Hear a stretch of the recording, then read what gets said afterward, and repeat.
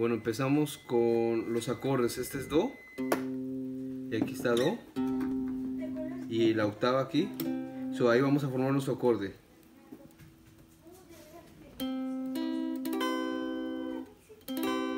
Fa sería K.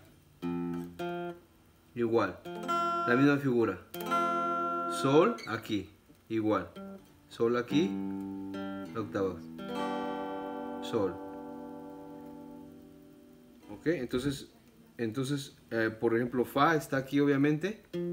Fa también vamos a usar este acorde. Sol también aquí. Sol. Y Do. So, el ritmo sería.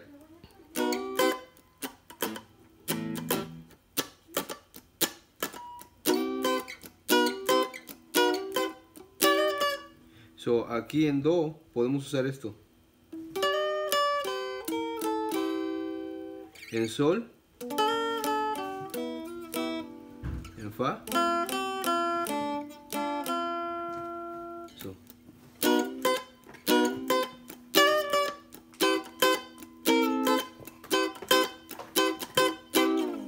Okay.